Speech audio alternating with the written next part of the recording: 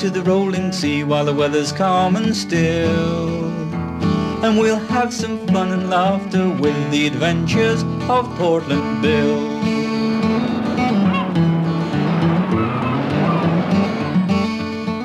It was a lovely sunny seaside day, and Dogger and I were in McGuillycuddy for a walk. But first, I had to pop into Eddie Stone's shop.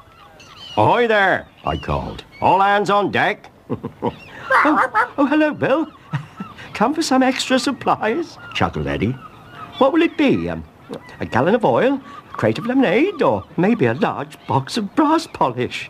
Oh, no. Not today, thanks, I replied.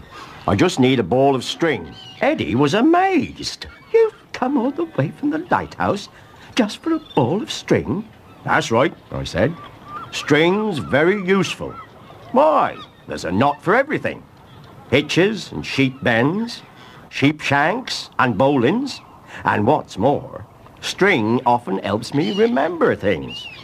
However can string help you remember things? asked Eddie. But before I could explain, Grandma Tyree rushed in all of a tiz. Oh dear, she gasped. My washing line's broken and I've got a big basket full of wet clothes to dry. Don't you worry, Grandma, I said. I'll use my ball of string to join it up with a sheet bend knot. Come on, Eddie, give us a hand. Well, I soon had the washing line fixed. Thanks to my ball of string, I said to Eddie. Yes, but how does it help you remember things? But I was already on my way. Tell you later, I shouted.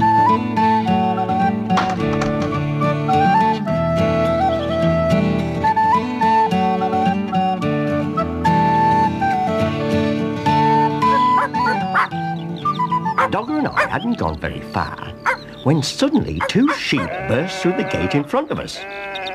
Why, it's Flotsam and Jetsam from Finisterre's Croft, I said. What are you two doing here? Well, just then, young Gale from the village ran up to me. What's the matter, Gale? I said. Do you want Dogger to catch those sheep for you? Uh, oh, no. It's Boomer the ball. He's broken loose and he's in the lane. Those silly sheep just followed him. Oh, look out! He's coming back. Don't worry, I'll get him.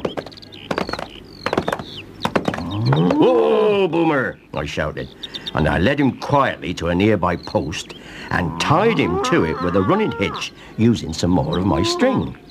At that moment, Finisterre arrived, puffing and panting. Oh, oh, thank goodness you've found them, he said.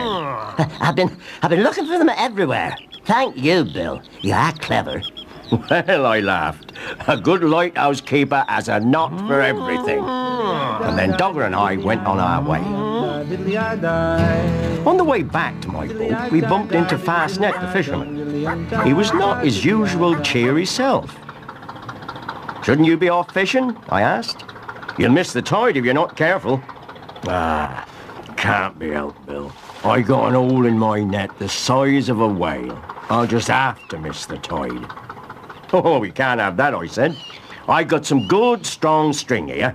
We'll mend your nets in no time.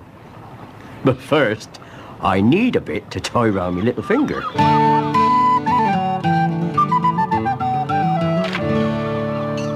Hello, Eddie. Back again, Bill, he said. Uh, what would you like this time? Oh, dear, I says. What with runaway bulls, broken washing lines and fishing nets, I've forgotten what I came for.